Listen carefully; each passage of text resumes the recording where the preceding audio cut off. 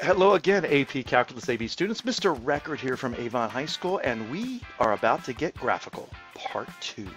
We're going to take a look at examples five, six, and seven from topic 1.3, which is all about estimating limits from graphs. So if we move into our first problem, and I move my face out of the way so you can see example six, we see example five over here to the upper left.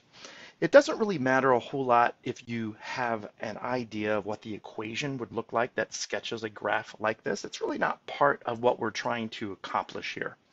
Um, if you're wanting to know, I believe that that's probably the top half of an ellipse. But like I said, we're going to take that out of the picture and just focus on the graph that's given and find these individual limits. And so our first limit, part A, is as x approaches zero from the left side. So if we find ourselves traveling on this road and we kind of move towards that value of x that's zero on the left side, we slowly and surely seem to approach this y value that looks like it's pretty darn close to one, and that's what we're going to go ahead and interpret it as. I'm not trying to trick you and say that the answer is like 1.01 or 0.99. That would be a pretty dirty trick we're going to go ahead and read with the graph and accept these values uh, as being pretty nice integers. We do the same thing on the right side. As we approach zero from the right, lo and behold, we get a y value that is also equivalent to one. You probably remember in a previous video, we talked about how do you handle the, the uh, situation where your limit is approaching, in this case, zero from both sides. And it's just simply a matter of looking at part A and part B. And if those two answers agree with each other, then your answer is going to agree with both of those. On the other hand, if those answers are in disagreement, then you're going to have a limit that does not exist. And as far as f of 0 is concerned, well, we're just really talking algebraically, what does the y value seem to equal when x is 0? Nothing to do with limits and we get one there.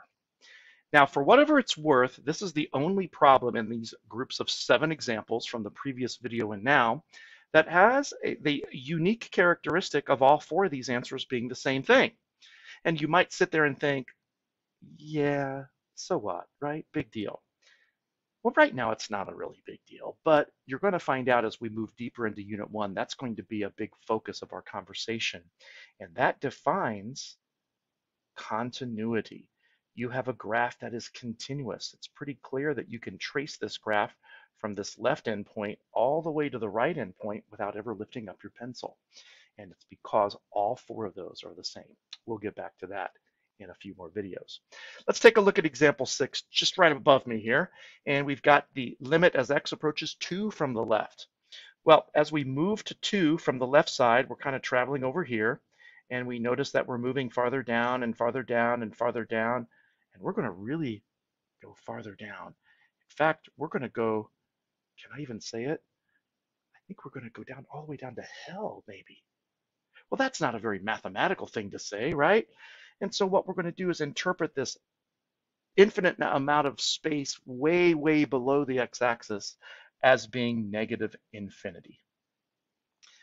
Now, on the flip side of that, if x were approached 2 from the right, then it seems like, well, the opposite would be going up to heaven, let's say. But again, we need something a little bit more mathematical here.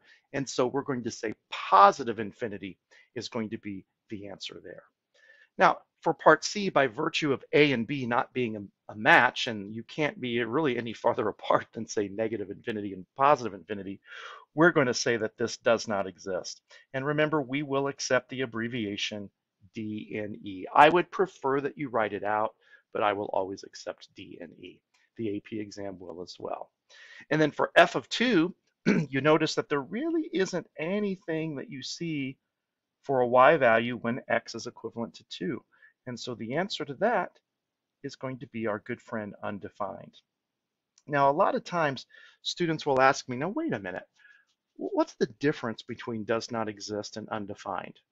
Well, by and large, I won't really split hairs with those two phrases. And, and, typically, I will count them both correct, no matter which one you use.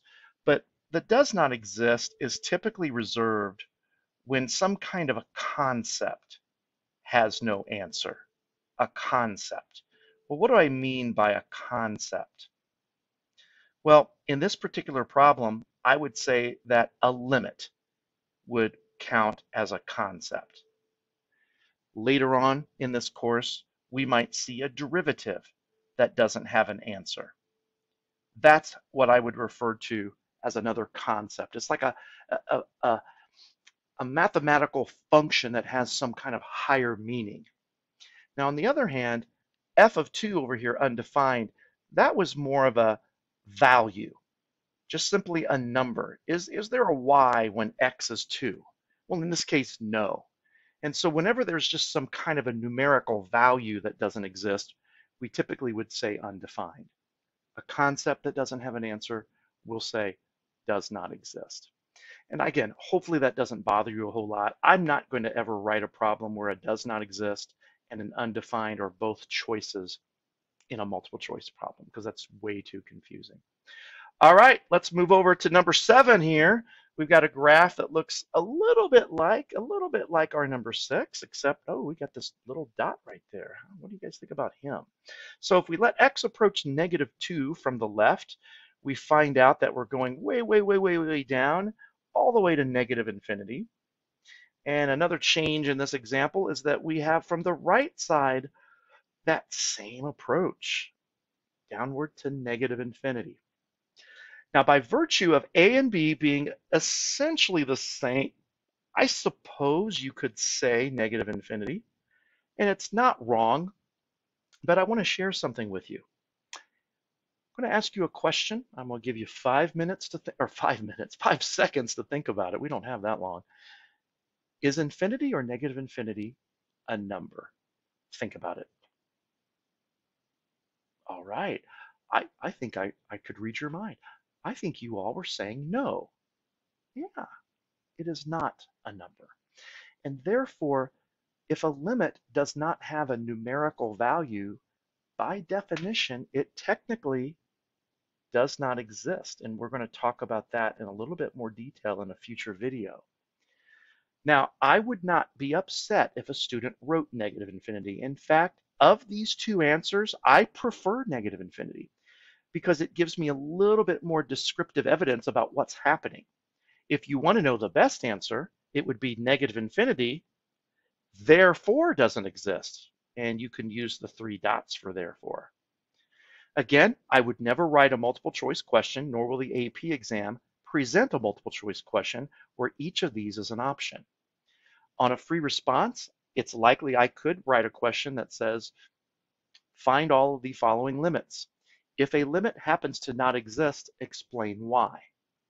And part of your explanation could just simply be that the limit approaches negative infinity, and that would be enough. So you can see how it's kind of good to cover yourself in a free response by maybe listing both. And then of course our f of negative 2, I hope seems pretty straightforward in that you have this dot sitting here on the x-axis when x is negative 2. So there you go examples five, six, and seven, which round out our graphical approach to limits. Our next video is going to focus on a few unusual looking functions that don't have the graph provided, but you could certainly use technology to graph them and answer the question. Hope this helps. We'll see you next time.